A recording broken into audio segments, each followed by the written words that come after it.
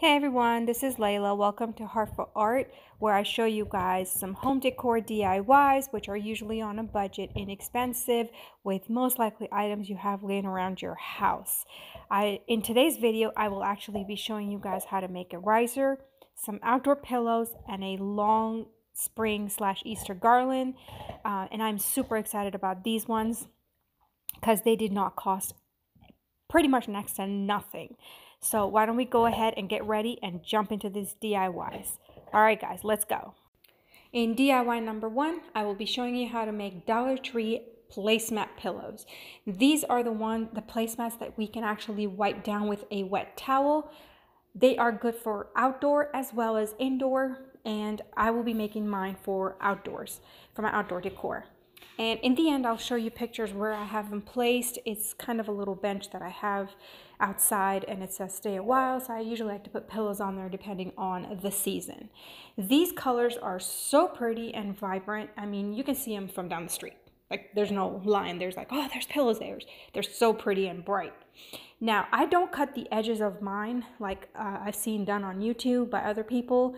I take a, I want to think I want to say it's called a seam ripper, but it's a little notch and you just put it inside the seam and you rip it and then you start pulling the thread and it all comes apart.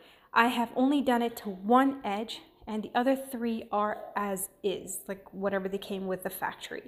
And I stuffed them nicely and I didn't even sew it. I just put some hot glue and they are holding up great. And where I live, man, the temperature changes like there's no end. I'm on the East Coast, so the temperatures go hot one day, cold the other, but they're holding up really, really well. And I love the way that they look, and this is what they look like together.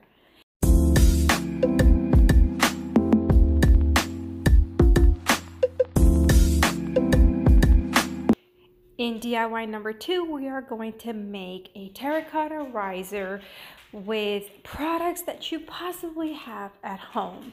This is a plastic uh, serving kind of dish that I got years ago for, um, I think it was New Year's Eve. And I've never used it ever since. It was just a one time thing. So I decided to turn it into a riser because I really love that shape of it. So here I am painting it in a great base coat. And I just give it good two coats of paint and then this is the terracotta color that I custom made at home and I mixed baking powder in it and to add a lot of texture in it. Uh, I found that baking powder tends to make a little bit more, makes it a little thicker, I should say, versus baking soda. And I really like the texture of this one better. So I just did, you could say about a 20% baking powder to 80% paint. And I've just used regular latex paint. This is the color I mixed when I made my big three foot uh, vase and I will link that video uh, for you guys to actually see if you haven't done so. It was, it was a really nice vase. It turned out really pretty. So I was showing you over there the texture that it created from just the paint itself. And I'm using a very well loved, very, very well loved uh, brush and just to add texture, just adds more. So this piece right here is a wooden piece that I used in 2020 for my Christmas decoration. It was for my kids' tree in the basement and it said stink, stank, and stunk. It was a Grinch theme as 2020 did. So um, I didn't need it anymore. I wasn't using it for anything, so I decided to use it as a base on my riser to kind of give it a little bit more character. And I will show you how I will cover up the little gap that it shows from the riser having a little bit of a lip on the bottom.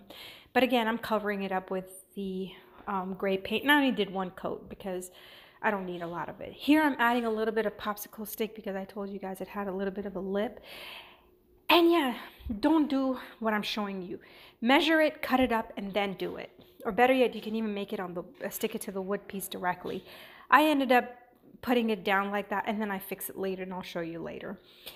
Uh, these are the little feet that I'm using, and that was Antique Wax by Waverly.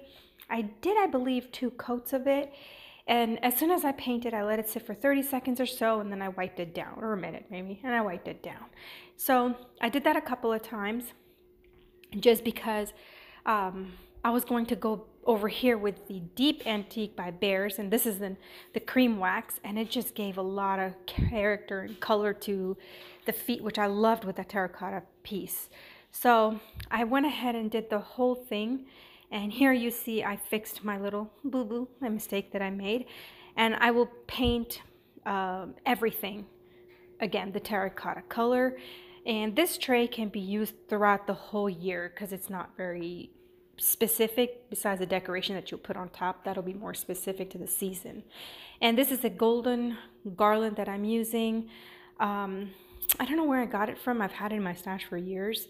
I usually use these kind of things when i make cards so i might have it from there uh, i just added on and i was seeing here to see i was seeing to if i wanted to do double layer but nah, single was good and i'm adding the feet and eventually you'll see I color paint the whole thing uh, terracotta color. And this is what I've done to the whole thing. I let it all dry cure and then I just decorated and staged it for you guys to look at. And I really, really hope you guys like it and let me know in the comments if you do.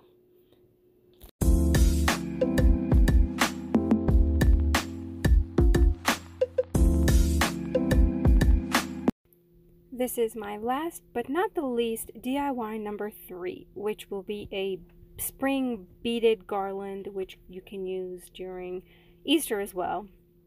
It's going to have, um, it has basically pink, blues, and yellow uh, beads, different size beads with some Easter eggs that I got from uh, Dollar Tree, the foam glittery ones that I painted in plaster color by Waverly and the pink beads I think it's ballet slipper that has been watered down and here is the pattern that I'm showing you guys what it's gonna look like. And all these beads I got them basically from Hub from sorry not Hobby Michaels and um, Amazon. So all I've done is strung them together. This is the end of it. And I'm making two tassels for either end of the uh, garland. And this is about a 52 inch garland, so it's pretty long. And I wanted it to use it on my ladder, and I'll show you guys pictures at the end. You don't have to, but that's the purpose I made it for. So I'm cutting the, the ends of it. This jute twine is from Dollar Tree from their tool section, I believe.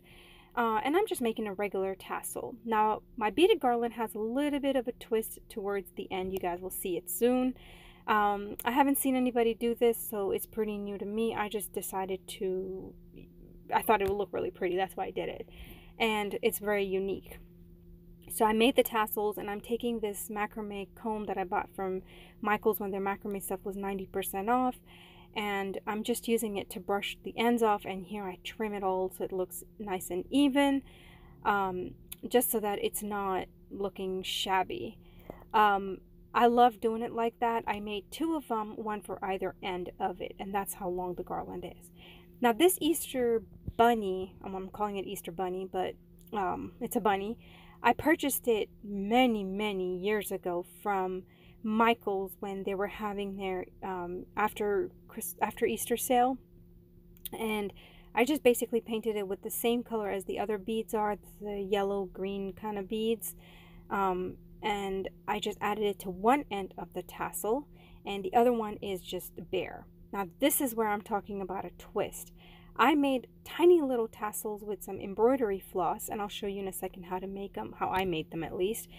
Um, this is the embroidery floss, just regular embroidery floss and some um, just wire from Dollar Tree and I'm just twisting them with my pliers cutting it to length and just putting some hot glue at the end of the egg and I'm just hot gluing it in. The eggs had the ribbon for uh, the ornaments to hang and I just took them off and they had a hole. So instead of leaving the hole or filling it up, I just decided to um, make little tassels and hang them at the end. And they look really, really cute and different and unique and that's what I like. So this is what I did to the garland and let's see how it all looks together.